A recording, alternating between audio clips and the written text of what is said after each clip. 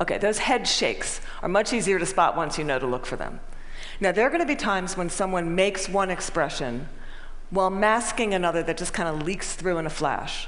Murderers are known to leak sadness. Your new joint venture partner might shake your hand, celebrate, go out to dinner with you, and then leak an expression of anger. And we're not all going to become facial expression experts overnight here. But there's one I can teach you that's very dangerous and that's easy to learn, and that's the expression of contempt.